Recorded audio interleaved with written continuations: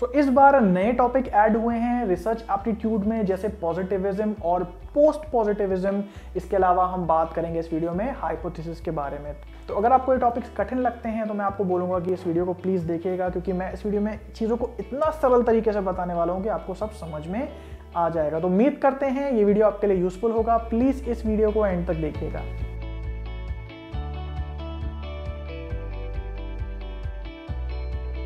तो भाई स्टार्ट करते हैं पॉजिटिविज्म और पोस्ट पॉजिटिविज्म से। तो पॉजिटिविज्म से पहले जो पॉजिटिविज्म अप्रोच हम जो अपनाते थे, जिसका कि मतलब है साइंटिफिक मेथड्स को अपना के जो नेचुरल फेनोमिन है, जो सच है, जो ट्रूथ है, उसको वेरीफाई करना पॉजिटिविज्म में आता है। पॉजिटिविज्म से पहले जो था वो थियोलॉजिज्म था, जिसका कि मतलब कि जो सच्चाई है, जो दुनिया है, उसको हम ये मानते थे कि ये भगवान के कंट्रोल में है या देवताओं के कंट्रोल में तो आपने काफ़ी पहले की कहानियाँ सुनी होंगी, जिसमें हम ये मानते थे कि जो भी प्रकोप है, जैसे बाढ़ है, सूखा है, ज़्यादा बारिश है, ये देवताओं की वजह से हो रहा है। जहाँ पे तर्क का कोई भी स्थान नहीं था, जहाँ पे रिसर्च का कोई भी स्थान नहीं था, ये हमारी मान्यताएँ थी जो हमारे अंदर से आती थी। तो ये जो थियोलॉजिज्म का समय था, उसके बाद धीरे धीरे इंसान ने तर्क लगाना शुरू करा धीरे धीरे इंसान ने वेरीफाई करना शुरू करा, वैलिडेट करना शुरू करा through experimental test through statistics तब जाके पॉजिटिविज्म आया, जहाँ माना गया कि भाई कोई भी चीज़ है, उसको हम साइंटिफिक टेस्ट से बिल्कुल प्रूव कर सकते हैं परसीव कर सकते हैं कि एक्चुअली सच क्या है और उसके पीछे लॉजिक क्या है। तो ये डिफरेंस है पॉजिटिविज्म में और उससे पहले जो थियोलॉजिज्म आता था। लेकिन पॉजिटिविज्म ही इंटायरली सही नहीं है। यानी कि कोई भी चीज़ हमें समझनी है तो ऐसा ज़रूरी बिल्कुल नहीं कि वो साइंटिफिक मेथड अप्लाई करके और उसको वैलिडेट करके फिर ही उसको समझा जाए।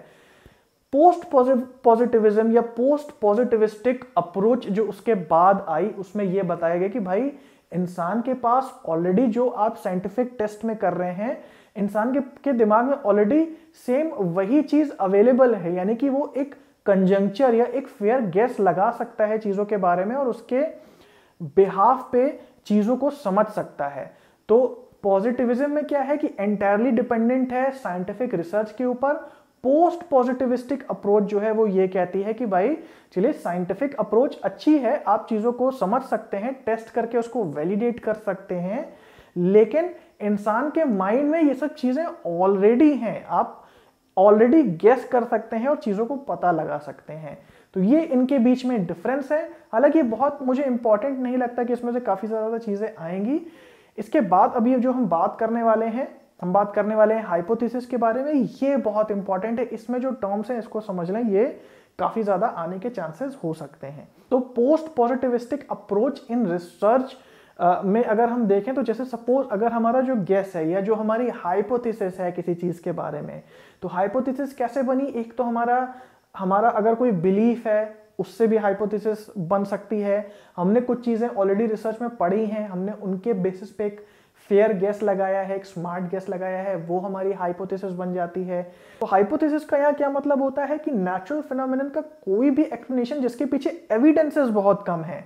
यानी कि हमें लगता है कि ये सही है, ये बिल्कुल सही है और इसीलिए यू नो हम रिसर्च पे अपनी हाइपोथेसिस वही बनाते हैं जो हमारा बिलीफ होता है कि भाई ये चीज़ ऐसी ऐसी होनी चाहिए, इस पर रिसर्च हुई नहीं है, इस पर अभी टेस्ट हुआ हुआ नहीं है, जिसका मतलब क्या? इसके अभी एविडेंसेस इतने नहीं हैं, लेकिन ये चीज़ सही होगी। तो इस पर हम टेस्ट करेंगे, इसमें हम डेटा कलेक्शन करेंगे और उसको प्रूव करने की कोशिश करेंगे कि ये चीज़, जो चीज़ हम सोच रहे हैं, जो हमारा गैस है वो सही है। तो सबसे पहले बनती है हाइपोथेसिस जो कि हमारे माइंड में बनती है। देन हम यूज़ करते हैं स्टेटिस्टिक्स हम यूज़ करते हैं रिसर्च मैथडोलॉजी और फिर ये देखते हैं कि जो हमने हाइपोथेसिस बनाई है, वो सही है या नहीं है। तो हाइपोथेसिस के काफ़ी पार्ट्स होते हैं जिसमें आज हम बात करेंगे, अगर उनका वर्गीकरण किया जाए क्लासिफिकेशन किया जाए डायरेक्शन के आधार पे। तो दो टाइप के हाइपोथेसिस होती हैं, एक होती है डायरेक्शनल हाइपोथेसिस एक होती है नॉन डायरेक्शनल हाइपोथेसिस तो इसको एग्ज़ाम्पल से समझ सकते हैं इसका क्या मतलब है। सपोज़ हमने अपने पिछले वीडियो में जो रिसर्च एप्टीट्यूड का फ़र्स्ट पार्ट था, अगर आपने नहीं देखा है तो प्लीज़ देख लीजिए। उसमें हमने एक एग्ज़ाम्पल लिया था कैफीन का और नींद का। तो आप सबको पता है कि हम जितना ज़्यादा कैफीन लेते हैं, जितना ज़्यादा कॉफ़ी पियेंगे, उतनी हमको कम नींद आएगी, ठीक है? लेकिन सपोज़ अगर हम एक रिसर्च कर रहे हैं जो कि नॉन डायरेक्शनल है तो इसका मतलब यह है कि हम एक ऐसा टॉपिक ले सकते हैं। सपोज़ अगर हम टॉपिक लें कि कैफीन और नींद के बीच में क्या संबंध है। कम होगी, ज़्यादा होगी, हमें नहीं पता। यानी कि कोई डायरेक्शन नहीं है, किस तरफ़ ये रिसर्च मुड़ेगी, हमें पता नहीं। बस हम ये रिसर्च करने जा रहे हैं कि कैफीन और नींद के बीच में कुछ तो संबंध है जो कि हमें पता लगाना है। डायरेक्शनल की बात करें तो सेम अगर हम, हमारा जो हाइपोथेसिस है वो ये है कि अगर हम कैफीन ज़्यादा पिए तो हमारी नींद कम हो जाएगी। यानी कि डायरेक्शन आप दे रहे हैं। हमने कोरिलेशन की बात की थी पॉजिटिव या नेगेटिव कोरिलेशन की। तो अगर आपको डायरेक्शन पता है कि आप कहाँ मुड़ रहे हैं और किससे क्या कंक्लूजन हो रहे हैं, ये आपने ऑलरेडी जज कर लिया है, ये समझ लिया है। ठीक है? तो उसको, उस पर जब आप हाइपोथेसिस बना के उस पर टेस्ट करते हैं तो वो डायरेक्शनल हाइपोथेसिस होती है। सपोज़ हमने एक हाइपोथेसिस बनाई कि कैफीन ज़्यादा पीने से नींद कम हो जाती है, ये हमने हाइपोथेसिस बनाई है, अभी इस पर टेस्ट नहीं हुआ है। तो अब ये जो हाइपोथेसिस है, इसको हम कहेंगे ऑल्टरनेट हाइपोथेसिस यानी कि जो हम हाइपोथेसिस बनाते हैं, जिसको हम सपोर्ट करना चाहते हैं और जिसको हम वैलिडेट करना चाहते हैं थ्रू एक्सपेरिमेंट्स या थ्रू स्टेटिस्टिक्स या थ्रू रिसर्च मेथड्स उसको हम ऑल्टरनेट हाइपोथेसिस कहते हैं।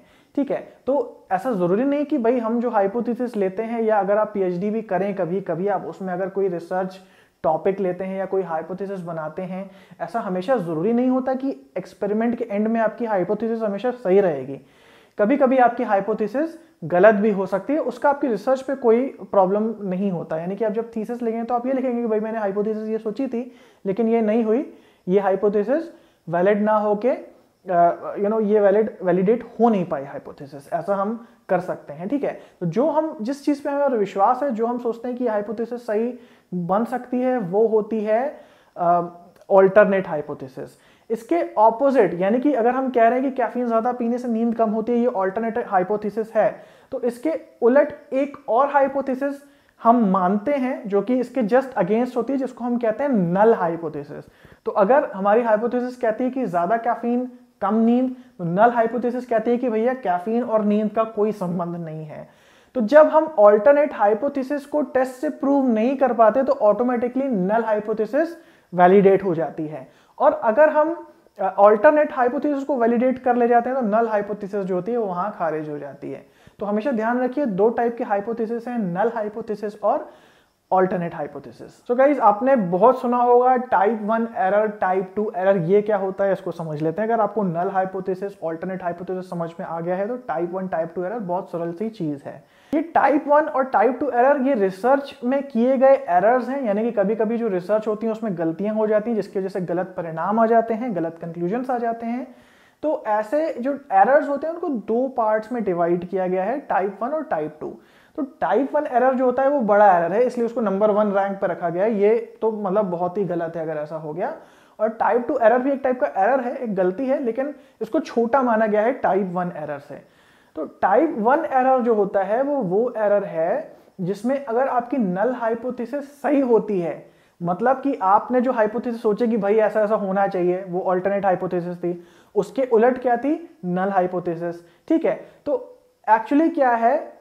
असल में नल हाइपोथेसिस सही होनी चाहिए थी, लेकिन आपने जो गड़बड़ी की है, उसकी वजह से आपकी ऑल्टरनेट हाइपोथेसिस सही आ रही है। तो ये टाइप वन एरर है। जब नल हाइपोथेसिस सही होते हुए भी गलत आप कर दें, ठीक है? यानी कि सपोज़ अगर कैफीन और नींद के बीच में कोई संबंध ना हो और आप कुछ गड़बड़ी कर दें डेटा कलेक्शन में डेटा इंटरप्रिटेशन में, कि ऐसा दिखने लगे कि भाई कैफीन और नींद के बीच में तो कोई संबंध है ठीक है? तो आपकी ऑल्टरनेट हाइपोथेसिस वहाँ सही हो जाएगी, जबकि सही होनी चाहिए थी नल हाइपोथेसिस तो ये टाइप वन एरर है, क्योंकि आपने गड़बड़ी करके गलत आपने रिज़ल्ट यहाँ पे आप ले आए हैं। अब बात करते हैं टाइप टू एरर की। टाइप टू एरर जस्ट इसका उल्टा है। इसका मतलब कि जो ऑल्टरनेट हाइपोथेसिस है, वो सही थी, लेकिन आपने कुछ गड़बड़ी कर दी रिसर्च में और आपकी आपकी अपनी ऑल्टरनेट हाइपोथेसिस गलत हो गई। ठीक है? तो ये टाइप टू एरर है क्योंकि आप सही चीज़ को सही प्रूव नहीं कर पाए, ठीक है? तो टाइप टू एरर मतलब जो सही चीज़ थी, आपकी अपनी जो ऑल्टरनेट हाइपोथेसिस थी, वो आप प्रूव नहीं कर पाए। लेकिन जो टाइप वन एरर है, वो वन पे इसलिए है क्योंकि आपने गलत चीज़ को सही प्रूव कर दिया। तो गलत चीज़ तो सही बिल्कुल प्रूव नहीं होने चाहिए तो बहुत ही गड़बड़ी हो जाएगी। इसलिए इसको वन पे रखा गया है। जब नल हाइपोथेसिस आपकी सही होते हुए भी आप गलत प्रूव कर देते हैं और ऑल्टरनेट हाइपोथेसिस जब आपकी सही होते हुए भी आप इसको गलत प्रूव कर देते हैं ये आपकी टाइप टू एरर में आती है। So guys, this was all about hypothesis and positivism and post-positivistic approach in research methodology. I hope ये आपको समझ में आया होगा। मैंने कोशिश की है बहुत सरल शब्दों में आप सबको समझाऊँ। वीडियो पसंद आया प्लीज़ लाइक कीजिए। ऐसी वीडियोस देखने के लिए चैनल को सब्सक्राइब ज़रूर कीजिए और बगल में बेल का बटन ज़रूर दबा दीजिए। मिलते हैं नेक्स्ट वीडियो में। तब तक के लिए have a nice day and take care